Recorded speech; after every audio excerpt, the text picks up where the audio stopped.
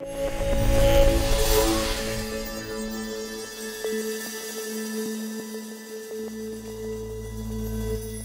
this is Travis Sabin, Product Manager for Adobe Analytics. And today we're going to be um, digging into one of the new features in our new cohort table, the latency table feature.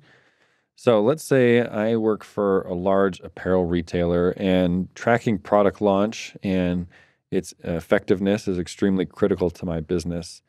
And let's say I've got a product that has been underperforming in terms of online orders for new users. So I'm going to come in and build out my cohort table with my new users for visiting as inclusion and making coming back later and doing an online order for my product amazing. And I'm going to change my granularity to be day to match my time period. And I'm going to build. And I can see that I've got lots of new visitors coming, but very few of them are actually coming in and making online orders for my amazing product.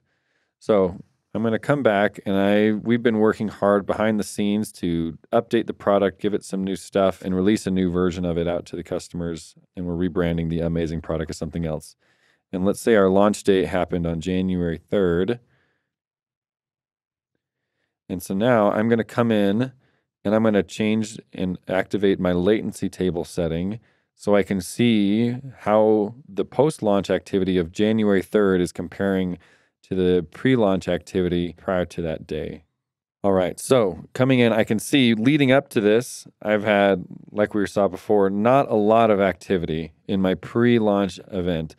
But I can see after my inclusion event, I can see that sales are starting to pick back up again.